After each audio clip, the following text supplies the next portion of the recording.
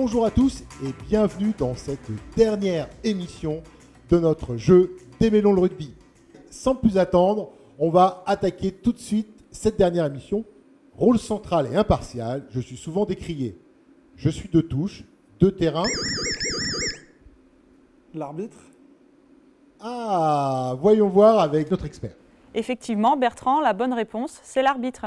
Donc les qualités pour être arbitre au plus haut niveau, c'est d'abord l'intégrité, ensuite une bonne condition physique pour être présent sur les actions, une bonne communication pour échanger avec les joueurs et aussi pour être compris du public, et une capacité d'analyse précise et rapide, car le jeu, plus on monte de niveau, est de plus en plus rapide, donc les décisions doivent être également prises rapidement.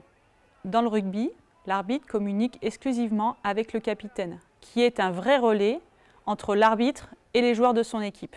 Même si nos décisions peuvent être contestées ou contestables, il y a une vraie notion de respect entre l'arbitre, les joueurs, les staffs et le public. Lors d'un match euh, professionnel, euh, il y a quatre arbitres, donc un arbitre central, deux arbitres assistants, un arbitre vidéo, ainsi qu'un quatrième et cinquième arbitre chargé de la gestion des bandes touches.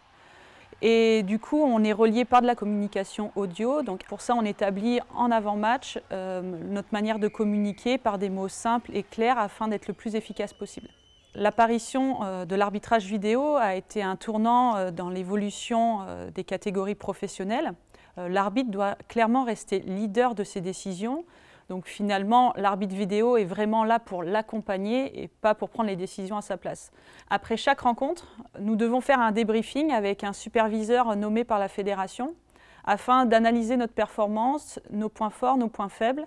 Et ainsi, nous avons une notation après chaque match. Marvin remonte encore au classement et il nous marque un nouveau Un point. nouveau point. Attention, dernière question. Je suis une ligne fictive sur le terrain, sans cesse en mouvement, et qui apparaît selon les phases de jeu. Je suis sanctionné par une pénalité. Leur jeu Regardons le résultat avec toujours notre expert. C'est exact, la bonne réponse, c'est le hors-jeu. Dès qu'un joueur est devant le porteur du ballon, il est en situation de hors-jeu. Il existe différents types de hors-jeu. On a les hors-jeux de ligne et le hors-jeu dans le jeu courant.